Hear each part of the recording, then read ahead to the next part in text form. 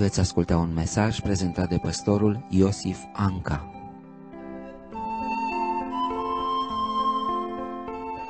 Geneza 22 de la versetul 16. Pe mine însumi jur, zice Domnul, pentru că ai făcut lucrul acesta și n-ai cruțat pe fiul tău, pe singurul tău fiu, te voi binecuvânta foarte mult și îți voi mulți foarte mult sămânța și anume ca stelele cerului și ca nisipul de pe țărmul mării și sămânța ta va stăpâni cetățile vrășmașilor ei.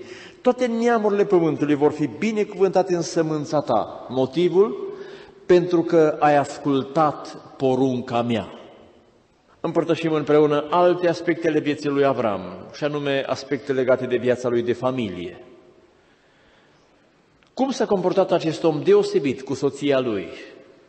Și în partea a doua, ca să aibă și surorile ceva de luat la suflet, nu cumva să fim doar noi învățați să fim cu toții. Cum s-a comportat Avram în relațiile lui cu Sara și cum s-a comportat Sara în relațiile ei cu Avram? Pentru că ori și cum amândoi sunt dați cu foarte mici excepții, ca și David mai târziu, ca pilde vrednice de urmat. Vreau să amintim în dreptul fiecăruia dintre ei patru capitole mari, patru principii de căpătâi prin care ei au fost călăuziți și pe care ei le-au folosit în relațiile cu celălalt partener de viață. Nu se poate, amintiți-vă ce scrie în Noul Testament, dacă cineva spune că iubește pe Dumnezeu, dar pe fratele de lângă el nu-l iubește, este un mincinos. Cine ar putea să fie mai aproape de noi decât partenerul de viață? Deci, în mod foarte clar, fără să abatem textul Scripturii, am putea să spune că cine nu are o relație bună cu soțul sau cu soția, nu poate să aibă o relație bună cu Dumnezeu, ci din potrivă o relație bună cu Dumnezeu se va răsfrânge în o relație bună cu cel cu care conviețuim împreună. Deci mai întâi să luăm pe Avram. În primul rând, Scriptura ne arată la el o bună comunicare și o bună înțelegere cu soția sa, Sara. Fără să fie prea multe versete, dar totuși putem să înțelegem că în plan spiritual, în plan al credinței lor, acești doi au fost de aceeași părere. Amintiți-vă că Sara a fost soră cu el de corp dinspre tată. Și potrivit cu ceea ce scrie în cartea lui Iosua, în Ur, de unde au venit, slujeau altor Dumnezei părinților. Dar ea a fost aceea care e ca și soție lângă Avram. Și ei împreună au căzut într totul de acord asupra principiilor spirituale pe care se aplice în viața lor și în care să-și învețe copiii după ei.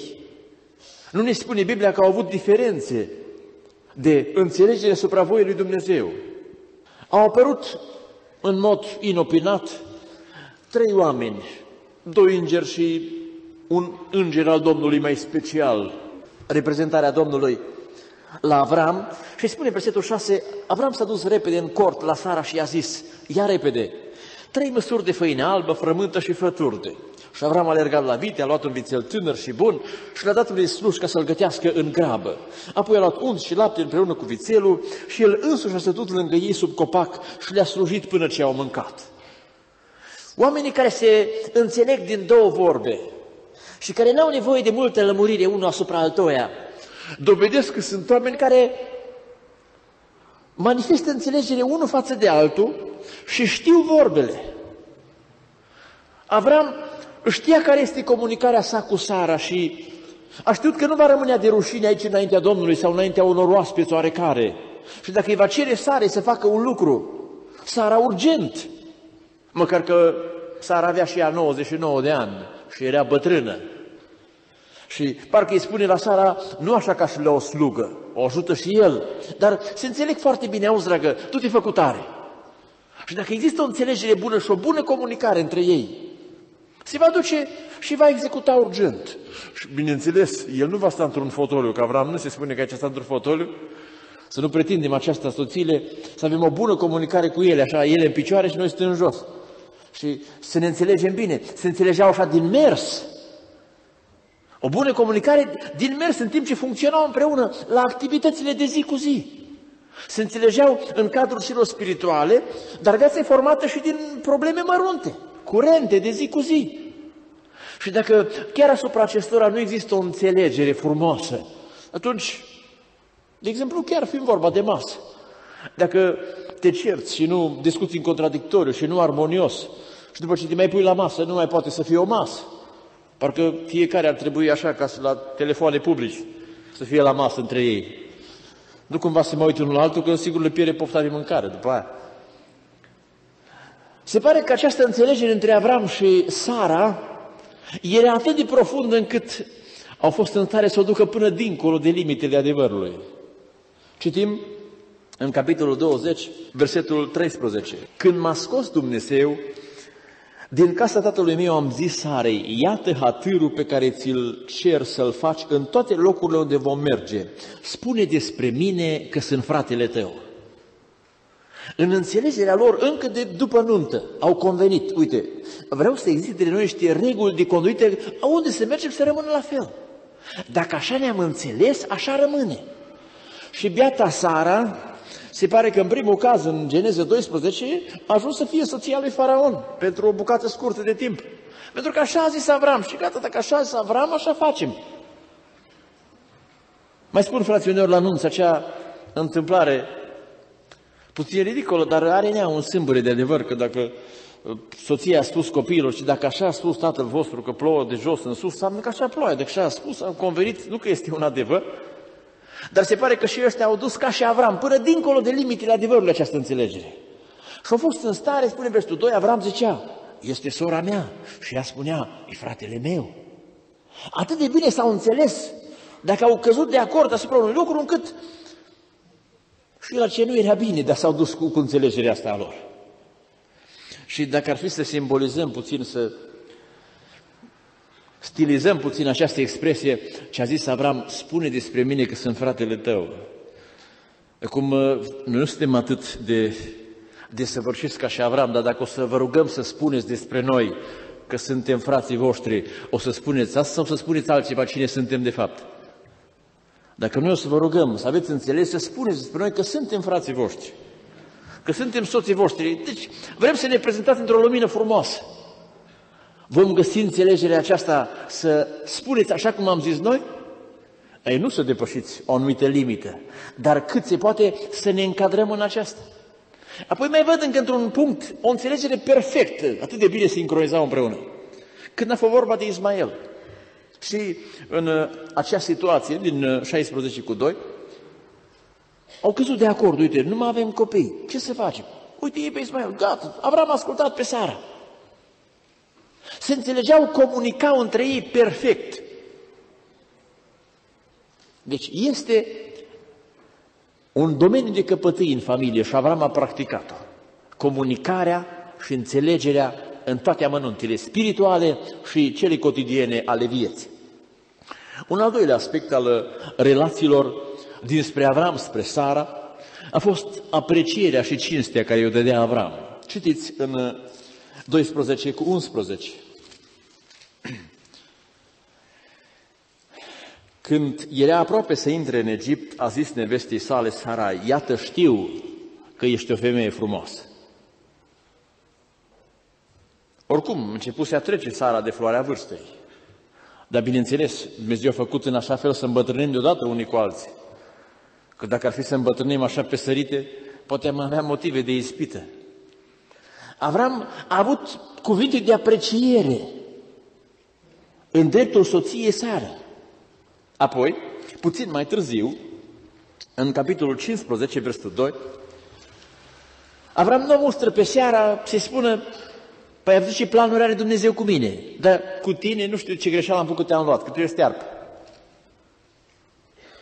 Nu mustră pentru asta. 15 cu 2. Avram a răspuns, Doamne, ce îmi vei da? Că mor fără copii. Nu spune, uite, Sara nu naște. Și s-ar putea soțiile noastre să nu aibă aspectele la domeniul acesta, să aibă copii. Dar poate au alte lipsuri. Vom face publicitate din acestea sau vor rămânea un tabu și o confidență care ține de familie? Mai întoarcem două pagini, să vedem încă ceva, 18. Sara, citim aici în, de la versetul 13, Domnul a zis lui Avram, pentru ce a râs Sara? Cu adevărat pot să mă am un copil când sunt bătrână? Sara a tăgăduit versetul 15 și a zis, n-am râs. Și Avram putea să spună, cum să nu tăgăduiască, că e așa obișnuiești. Avram a trecut din gură, Doamne, eu știu că e așa, în fața ta nu m-am unde să mă ascund, dar eu nu mă apăs pe Sara mai mult. Rămâne atât cu cât ai văzut. Uite, Avram, ce-ți face nevastă. Îi spune, Domnul a zis lui Avram, pentru ce minte nevastă ta? Aia las. A cinstit-o, a apreciat-o, a fost soția lui și în final Dumnezeu i-a binecuvântat-o. Dacă vom merge pe această linie și n-a fi binecuvântată Sara noastră la început, Domnul schimbă numele și o binecuvântă la urmă. Finalul este binecuvântat și asta e important la urmă urmei. Un al treilea aspect al lui Avram în relația sa cu Sara a fost sprijinul și grija materială pe care a acordat-o el familie și chiar ajutorul dat soției sale. Citim în același capitol 18, versetul 7 concret, pentru el a regal la vite, a luat un vițel gras, apoi a stat el însuși și le-a slujit. Este frumos să invităm musafir la noi și oamenii care sunt într-o anumită slujbă chiar le cere Noul Testament să fie primitori de oaspeți. Dar cum vă imaginați condiția aceasta? Acolo nu scrie la slujitori, soțiile lor să fie primitoare de oaspeți. Noi, noi așa înțelegem, prin a fi primitori de oaspeți. Noi să comandăm să vină oaspeții la noi și soțiile să-i primească. Dar nu scrie condiția așa, ele să fie primitoare de oaspeți, ci ei să fie primitori de oaspeți. Uite, Avram dă exemplu cum trebuie să primești oaspeți. Și eu cred că Avram nu era omul care numai când venea Dumnezeu în vizită o ajuta pe Sara. Dacă ar fi fost așa ceva, ar fost un fățar, nici nu avea trecere înaintea lui Dumnezeu. Dar pasajul acesta ne-a rămas în Biblie. Deci eu cred că, în general, Avram era omul care, în termenii noștri spus, punea mâna. Păi, nu avea copii și trebuia să pună el mâna. Poate când o să fie copiii mai mari, vor pune copiii mâna și își va mai reduce el din sarce și în egală măsură ale soției. Apoi o grijă deosebită o văd și de asemenea am putea să o împletim cu cea anterioară, cu cinstea și aprecierea, când a murit Sara în capitolul 23, citim în versetul 2 că după ce a venit să jelească pe Sara și să o plângă, versetul 19 ne spune apoi, după aceea Avram a îngropat pe Sara, nevasta sa, în peștera din ogorul Macpela, care este față în față cu Mamre, adică Hebron în țara Canaan. N-a cumpărat nicio bucată de pământ, nu a fost Avram înclinat spre așa ceva, dar când a murit soția sa, a fost nevoit să facă un gest care nu l-a făcut până atunci. Și i-au spus, uite, ți-l dăm pe degeaba, i-au spus uh, acești oameni de aici, Efron. A spus, nu, nu, nu accept. Am citit, mi-am mai ani trecuți într-o revistă, într-o țară unde fetele se cumpărau, așa era tradiția acolo, și unul putea să o cumpere la un preț mai ieftin, echivalentul unui animal, unei, unei vite. Și el, pentru că a considerat că soția lui are un preț aparte, a oferit în sumă de acolo prețul unei a opt vite, opt vaci. Și a spus, nu costă atâta, nu, dar pentru mine vreau să aibă valoare, vreau să-i dau valoare. A făcut, aveam niște cheltuieli extraordinare, niște din comun în dreptul soției sale. Acestea putem să le facem cât timp trăiește, într-un fel, și apoi au fost făcute într-o altă privință aici de Avram. A grijit și până a trăit și după aceea să se achite până în final de sarcină care reveneau. Și încă o purtare a lui Avram foarte frumoasă. O purtare înțeleaptă față de Sara. Citim în capitolul 21. Avram nu era omul care să-și impună neapărat punctul de vedere, măcar că a avut niște mesaje și revelații de la Dumnezeu, poate ca nimeni altul, în felul lui. Moise a fost specific și deosebit și înalt în felul lui. 21 cu 10. Și a zis lui Avram Sara, izgonește pe roaba aceasta și pe fiul ei, că și fiul acesteia nu va moșteni împreună cu fiul meu Isaac. Cuvintele acestea n-au plăcut lui Avram din pricina fiului său, I-a spus Sara aici ceva, un lucru care la Avram nu i-a plăcut, nu i-a fost deloc la inimă. Era normal, Sara nu simțea nimic față de Ismael, dar pentru Avram Ismael era copilul lui, băiatul lui cel mai mare. Și nu i-au plăcut deloc aceste cuvinte, dar spune versetul 12, dar Dumnezeu a zis lui Avram, pentru că n-a vrut nici să o jignească pe Sara, să nu-și anuleze și datoriile de părinte în dreptul lui Ismael. Dar Dumnezeu a zis lui Avram, să nu te mânești din pricina aceasta și din pricina copilului și din pricina roabei tale. Fă sare tot ce-și cere, căci numai din Isaac va fi o sămânță care va porta cu adevărat numele tău. Văd pe Avram aici, în el, omul care poate să cedeze dacă soție să are o părere mai bună. Nu neapărat să cedeze ca așa a zis soția, că alteori a făcut Avram greșel ascultând de soție. Dar să întreb pe Domnul, Doamne, dacă nu eu am dreptate și are soția, eu accept, chiar dacă varianta e ei și ea au primit prima lumină aceasta. Eu prin aceasta înțeleg voia ta. Și Dumnezeu, pentru că Avram era sincer, i s-a descoperit și a spus Avrame, acceptă ce spune soția ta, de data asta este bun. Și Avram a putut să cedeze, să se poarte înțelepțește, să nu, uh, să nu riposteze, să nu o respingă și să o bruscheze imediat pe Sara. Putem face aici o mică paranteză. Uitați-vă în viața lui Avram și a Sarei. Au avut două greșeli în viață. Nu știu dacă au fost greșeli sau nu. În totalitate vreau să spun. Greșeala cu minciuna că este sora lui, nu este nevasta, și cu Ismael. Și ar fi putut să spună Avram Sarei, tu ai fost cu ideea. Sau tu ești cu problema aceasta pentru că n-ai copii, că altfel n-aș avea cum să mă disculp și să spun că nu e soția mea. Și ea să spună, dar tu ești de bine că tu ești bărbat, de ce ai lăsat după mine? Că eu am minte de femeie și m-am gândit că în final, dacă nu m-am copii, uite, îți dau o, o soluție. Vedeți, într-o problemă de familie, de regulă, amândoi au cotă parte de vină. De aia n-are rost să învinească unul pe altul. Era nonsens să-i spună Avram Sarei, tu ești de vină. Ea putea să-i răspună urgent, dar nu ne-am înțeles înainte de a face. Ba, ne-am înțeles. Și invers. Deci, de regulă, într-o familie, dacă apare o, o urmare negativă, neplăcută asupra atitudinilor noastre, nu avem cele mai învinovăți. Pentru că, de regulă, amândoi au participat activ la acea situație. Și acum n-au decât să culeagă roadele, nu? Ei au aruncat pietrele, acum ei se le strângă. Acum, problema e care se ducă traista în spate, că e grea, nu? Să bași câte o piatră e ușor, dar care duce traista până să adună toate pietrele. Și încă un aspect al purtării înțelepte a lui Avram. Nu dau explicații aici, vă las pe dumneavoastră analizați. Din Geneză 22 nu ni se spune, i-a șoptit ceva Avram Sare când a fost vorba de jertfirea lui Isaac sau nu. Biblia nu ne spune să fi șoptit.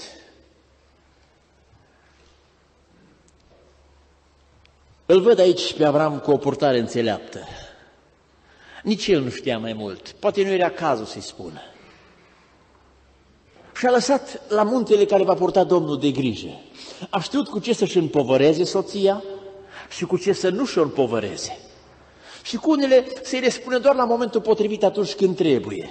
O purtare înțeleaptă. Doamne, dă-ne și nouă aceste calități. Domnul le dorește la noi, probabil și soțiile le doresc la noi. Dar haideți să trecem puțin și în dreptul soției lui Avram, în dreptul Sarei.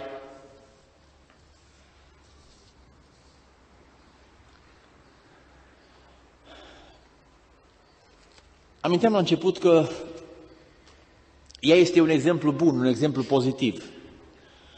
Și nu mi-a fost dat cel puțin acum să îi judecăm tare pe acel motiv dacă este minciună sau nu și în dreptul cazului lui Ismael. Asta pentru că Biblia nu dă toate explicațiile de substrat, de substanță, de interior. Biblia spune, Avram s-a justificat spunând, am știut că nu e nicio frică de Dumnezeu în țara aceasta, nu existau legi scrise ca și acum, nu aveau o Biblie în forma în care o avem noi acum și m-am gândit că așa este bine. Sau în cazul lui Ismael și mai târziu în cazul lui Esau și Iacov, s-ar putea să fie o excepție de la regulă prin care Dumnezeu a să dovedească ceva. Spune Pavel în Galateni, Agar reprezintă ceva, Sara altceva, au fost niște simboluri. Cum avem în cartea lui Osea, a spus Dumnezeu prorocul Osea, tu te ia o femeie prea curvă și să ai copii cu ea. Un lucru interzis categoric în Vechiul Testament. Dar Dumnezeu a luat niște situații tipice, le-a scos din normal, din uz și a vrut să simbolizeze cu ele ceva. E adevărat, pe de altă parte, mai există un principiu biblic. Când niște oameni fac o greșeală, dar greșeala este făcută fără voie, Dumnezeu în bunătatea și în harul său intervine acolo și mă acordă o șansă. Și spune Dumnezeu lui Avram în dreptul lui Ismael, pentru că e născut din tine, să știi că și pe el îl binecuvintez. Au fost oameni care au făcut o greșeală, Dumnezeu i-a pedepsit. Sara și-a purtat o cara ei din partea lui Agar. Dar a spus Dumnezeu, dacă tot este făcută, eu nu acum pedepsesc fără nicio, nicio urmă de, de har, ci vreau totuși să vă dau o șansă. Sunt mai multe cazuri din Biblie de genul acesta. Când oamenii au făcut o oarecare greșeală, cum a fost David, Domnul l-a iertat. Dar și-a primit o pedeapsă și apoi chiar din acea greșeală din Betșeba s-a ridicat spița davidică, spița Domnului, mesianică. A fost o greșeală că s-a dus Elimelec în țara Moabului și că băieții lui au luat fete moabite. Dar chiar din acea greșeală Dumnezeu a vrut să nu piardă totul. Ce se mai poate recâștiga, să se recâștige. Așa este și cazul cu Ismael. Pentru că Dumnezeu în bunătatea lui. De exemplu, biblic, recăsătorirea este interzisă. Singurul caz, Biblia la care există dovezi concrete, este când partenerul e decedat. Dar vine cineva și îmi spune, dar acum eu sunt recăsătorit, ce mai fac? Sunt pierdut? Omule bun, asta spune Biblia, dar Dumnezeu uneori face câte o derogare în milă. Ce, ce poți să spune Dumnezeu este să te rogi.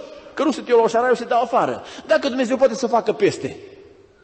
Eu nu pot să spun mai mult decât spune Biblia, dar Dumnezeu, vedem pe paginile Bibliei, că a acordat uneori câte un har special, ca să nu fie pierdut totul. Și rugăm pe Domnul unde găsește cuvinte să o facă. Patru lucruri aminteam și în dreptul Sarei cu privire la relația ei cu Avram. Și totodată ca relația ei cu Domnul, care într-un fel a soției se manifestă prin soț. Citim în 1 Petru capitolul 3, versetul 6. Este vorba în primul rând de ascultarea Sarei. Și ca Sara, care asculta pe Avram, și îl numea Domnul ei. Fiicele ei v-ați făcut voi dacă faceți binele, fără să vă temeți de ceva. În viața sa are ascultarea față de Avram și față de Dumnezeu se vede, dacă vreți, la fiecare pas. Dumnezeu i-a spus lui Avram, ieși din țara aceasta. Putea soția lui să spună, dar nu ies. Poate cunoaște situații când soțul a vrut să se mute undeva, soția a spus, dar nu mă mut, dacă te muți, te mut singur și cu asta ai trecut.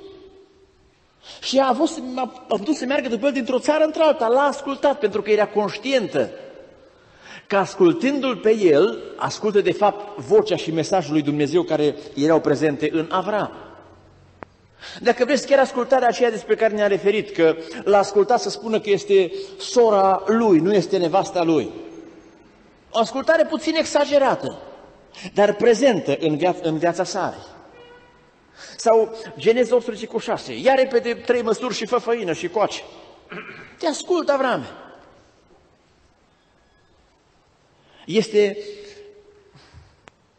unul din uh, cerințele lui Dumnezeu în dreptul surorilor. Față de Dumnezeu și unde această ascultare se manifestă chiar prin soț. Dacă soțul se abate, nu este normal să-l asculți. Cum este și cazul copiilor, ascultați de părinții voștri în Domnul, dacă această relație continuă către Dumnezeu. Dar Sara a dat dovadă de această ascultare, urmându-și soțul dintr-un loc într-altul. Poate avea și ea motivele ei, să, să, cele care poate ți umbla dintr-o parte într-alta, să se liniștească, să așeze undeva. Sunt oameni care se mai plimbăresc de felul lor, dar sunt unii care numai să nu-i duci de colo-colo, că pentru nimeni mare povară. Să-i duci într-o plimbare, de cum să-i muți cu toată casa? Ei trăiau în Ur, erau un oraș civilizat. A trăit Sara până la vârsta de 60 și ceva de ani, imaginați-vă că a trăit în Arad și apoi să o iei să o duci până în Africa, misionară, știi? Acum 10 ani în Kenya, au mai porți în Nigeria și tu porți de colo-colo, știi? Și Sara după el. Că îl asculta. Și acolo îi spunea, vezi să spui așa. Și ea spunea. Și veneau și niște musafiri de nu știu unde, spunea, pune și mâncare. Și Sara spunea, faci. Ascultarea. Un al doilea lucru în viața ei, credința. Nu putea să facă toate astea să asculte fără credință. Spune Evrei, capitolul 11, versetul 11. Cum a născut țara pe Isaac la 99 de ani? Fără, din punct de vedere fizic, să poată fi normală nașterea. Prin credință, Sara, cu toată vârsta ei trecută, rețineți acest aspect, a primit putere să zămislească, fiindcă a crezut ce i s-a spus în capitolul 18, măcar că a zâmbit puțin, dar a crezut. Cum s-a împăcat zâmbetul cu credința, nu știu. Dacă spune Biblia că a crezut, eu așa cred. În credincioșia celui ce-i făgăduise. Dacă n-ar fi crezut, cum spune aceeași capitolul 11, fără credință este cu neputință. Nu făcea nici Avram, nici Dumnezeu din Sara nimic, nici nu binecuvânta. Dar Sara a crezut și a avut acea statornicie de neclintit. Aici rămân. Dacă Dumnezeu a spus că ne dă un copil, ne dă. Și n-a crezut în viața sa, n-a venit credința numai la 99 de ani și să o confunde cu dorința, cu normal că dorea să aibă un copil. În viața sa, credința a fost o permanență. Deci, citiți și versul 13 de aici. După ce sunt amintiți și Avram și Sara, ne se spune, în credință au murit toți aceștia, fără să fi căpătat lucrurile făgăduite. Ori pe Isaac l-a primit. I-a fost făgăduite și altceva și le-a crezut pe toate cele făgăduite. Și nu neapărat a stat Dumnezeu de vorbă cu ea, Sara l-a crezut pe Dumnezeu prin Avram. De aceea spune Biblia și Noul Testament că uneori este indicat surorile să întrebe pe soții acasă și să fie un tot unitar și o părtășie apoi ei doi, copiii și către Dumnezeu. A dus Sara o viață de credință și a murit în această credință, lăsându-și pe Isaac la 37 de ani necăsătorit, mai după 3 ani s-a căsătorit, dar a crezut că din acest copil care încă nu s-a căsătorit se va naște un neam de oameni. Și a primit astfel binecuvântarea datorită acestei stări a ei de credință și de nădejde. Ca să întărim puțin pe surori și să le înțelegem, nu cumva să spunem că sunt puțin necredincioase. În Geneza 16 cu 2 citim că până la credința asta Sara îi venea puțin să-și piardă nădejdea. Spunea, bine, cred, cred, dar, dar când? Ne mai spune câte o soră, dar aș vrea să lucrez Domnul și în viața noastră și în viața familiei. Și... Dar cred, frate, dar sunt atâția ani. Sora Sara, mai este puțin, încă mai până la 99 de ani. Nu normal 99 de ani, și vreau să spun 99 de ani prin aceasta înțelegând timpul când este hotărât de Dumnezeu să intervină în viața familiei tale. 16 cu 2. Și Sara lui Avram, iată Domnul m-a făcut stearp, intră. Poate că voi avea copii de la ea. Puțin, așa parcă vroia să se deruleze odată filmul acesta, dar nu mai vine episodul cu numele și cu numărul. Dar, chiar după ce a văzut cum s-a derulat acest aspect cu Ismael, a spus, nu e asta situația. Și, și nu, nu s-a fixat la aceasta să rămână, ori lucrează Dumnezeu așa, ori nimic. Nu, nu. Chiar dacă era aparent grabnică, nu se mai adeverește tot ce a spus Dumnezeu. A rămas credincioasă lui Dumnezeu și soțului ei. Fidel în toate. Trei, supunere, practică. Amintim tot 1 Petru, capitolul 3, versetul 5.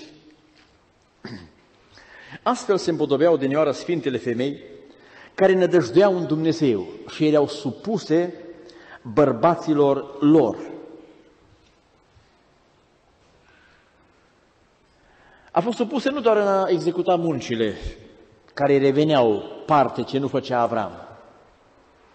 A fost supusă ce supunere mai mare vreți? Să te duci ca și o roabă, ca și o țiitoare la împăratul faraon, ca așa a zis bărbatul. Să faci mâncare, să vii după el, o supunere care nu a rămas doar la o ascultare teoretică, ci o supunere practică, efectivă, zi de zi. A mers după el și, și nu, nu, nu s-a abătut, ci a pus în practică toate aceste lucruri. Unul din versetele de aici, din capitolul 18, versetul 10, scoate în evidență, Sara asculta la ușa cortului care era înapoi a lui. Era supusă și executat totul și nu neapărat ieșa în față, avea, avea locul ei, Acum discută Avram aici ședință de comitet și ea nu vrea neapărat să stea și ea unde ședință de comitet, aștepta puțin în alte camere. Supunerea s-a materializat practic în toate privințele și a știut care este locul ei, puțin în ușa dosului cortului. Poate uh, slujba noastră este puțin mai vizibilă în fața cortului pe banc. Noi, la noi vin cu noi, dau mâna, au acces. Și Sara puțin după ușă în cort. Da? Parcă uneori poate ne mai vine, mai cu seamă cum este acum vremea aceasta cu emanciparea femeii, dar, dar până când? Dar mai, mai intra și voi în cort, mai și noi din coace de cort, din coace de perdea. Este un loc pentru fiecare dat de Dumnezeu și este frumos. Și Dumnezeu te ia numai din locul de unde te-a lăsat, de unde trebuie să fii. Știți că tot mereu ni se spune prin câte o profeție, te-am așteptat la locul tău, stai acolo, stai pe post. Cum spunea Dumnezeu Habacuc, ești proroc, stai acolo. Ești proroc, stai la postul tău. Ești la învon, stai la învon. Ești la cântări, stai la cântări. Fiecare unde este loc. Și un al patrulea lucru foarte frumos în viața Sarei, reverența față de Dumnezeu și respectul față de soț. Avea Sara doi domni. Avea un domn Dumnezeu în ceruri și mai avea unul pe care îl numea Domnul ei. Și avea reverență față de primul și respect față de al doilea. Și acesta putem să, să și amintim cum s-a petrecut lucrul acesta. Știți, 18 cu 12 spune, Domnul meu, bărbatul de asemenea, este bătrân. Sara și când a fost în vârstă a avut un domn. Unile nici când sunt tinere n-au domni. Sigur, nici ele nu sunt doamne atunci. Este de la sine înțeles. Citim în uh, capitolul 16, versetul 5. Să știți, Sara nu și-a depășit atribuțiunile. Sara lui Avram, asupra ta să cadă bajocul acesta care mi se face. Eu sunt dat în, în brațe pe roba mea Agar, să judece Domnul între mine și tine. Putea să spună Agar, dar nici nu mă aștept până să vină Avram acasă. Am luat decizia și te-am alungat. Nu, nu, trebuie să-i propun la Avram, el are dreptul decizional. El în final poate să dea verdictul dacă alungăm pe Agar sau nu alungăm. Aceasta a fost prima situație. Și între a doua, în 21 cu 10, din nou, aduce la cunoștința lui. A nemulțumirea care o are, cum a spus Dumnezeu Evei, dorințele tale se vor ținea după Adam. 21 cu 10. Și a zis lui Avram, izgonește pe roba aceasta. Bine, aici e o schimbare în viața Sarei. În 16 cu 2 o schie roba mea și aici o schie roba aceasta. Puțină diferență. Dar n-a zis, o izgonesc eu. Tu ești în drept să iei decizie, nu eu o izgunești, eu am respect față de tine și mai deasupra decât noi, judece Domnul. Și eu mă conformez și accept această situație. Ea a înțeles că prin Avram Dumnezeu îi dă călăuzirea și coordonarea. Și în urmă ea putea să stea liniștită. Și de asemenea mai văd această reverență și acest respect în viața Sarei, prin faptul cum ar fi acel legământ din capitolul 15. Și alte momente solemne, oficiale, o văd pe Sara lipsind. Poate a fost acolo, dar a fost într-un tablou și poate n-a luat cuvântul. A știut să-și respecte soțul și să păstreze o poziție de evlavie și reverență înaintea Domnului, un duc blând și liniștit. Și spune Biblia în Petru că asta e de mare preț înaintea lui Dumnezeu și de ce nu și înaintea bărbaților.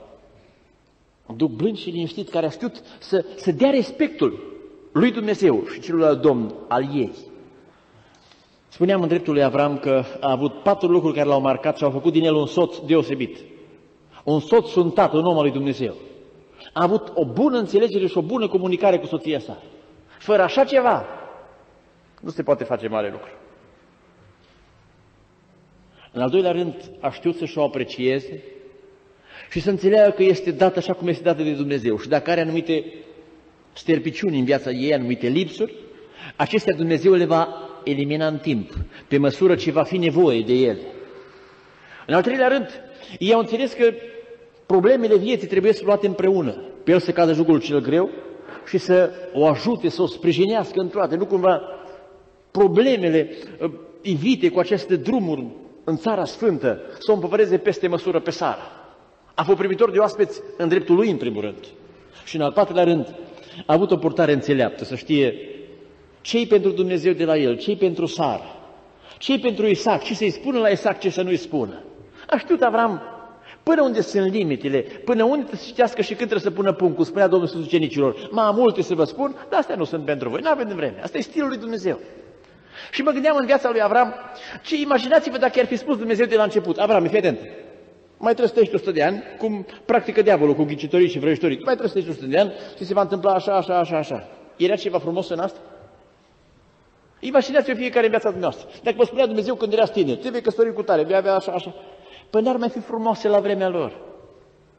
Mai era frumoasă încercarea asta dacă știa Avram cum e totul dinainte, că merge cu Isaac numai până acolo? Păi când ajungea pe munte, nu era gândul să se roare, se uita numai după berbece. Nu a venit pe munte să căutăm un berbece, de el a venit pe munte să jerfească pe Isaac. Nu mai era frumos. Spune că se 13, Dumnezeu face lor orice lucru frumos la vremea Lui.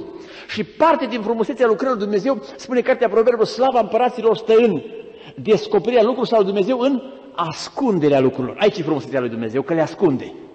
Și care cum le scoate, toate sunt frumoase. De aceea sunt frumoase.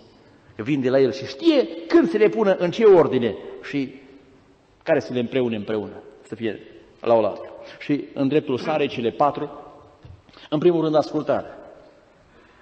În plan spiritual și material, toate problemele vieții. Apoi credință. Chiar dacă uneori nădejdea aia, ei vroia să se împlinească odată, a rămas credincioasă și în dreptul promisiunii că va avea un fiu și în dreptul promisiunilor sfinte, în general că țara va fi a lor și a semințiilor. Și în al treilea rând, aminteam noi acea supunere față de Avram din punct de vedere practic. Și la urmă, acea reverență față de Dumnezeu. Știa care e locul ei, poziția ei și respectul față de soț. Și iată așadar acești doi oameni care și-au încheiat viața, o viață schimbată de Dumnezeu. Dacă Avram cu un A înseamnă tatăl mulțimii, tatăl înalt, Dumnezeu i-a mai adăugat un A. Știți, așa sunt unii. Mai au ceva lipsă. Dumnezeu m-a adăugat numai un Aș și dintr-un tată înalt l-a făcut tatăl mulțimii. La Sarai i-a mai tăiat un Și și din prințesa mea a făcut prințesa mulțimii. Așa avem, suntem noi. Mai avem lucruri care trebuie să adăugate și altele scăzute. Și tare bine să lăsăm pe Domnul să lucreze în viața noastră. Așa a fost și Adam. Adam se credea că e întreg, dar avea ceva în plus. Și a trebuit Dumnezeu să extermineze o, o coastă și Eva avea ceva lipsă. Și uite, în final a făcut pe doi și a fost unul ca altul. Aia a fost cea din tâi familie, asta e familia credinței. Și să fim și noi o familie oarecare care să rămânem până în ceruri. Și Domnul să vă binecuvânteze pe toți. Amin.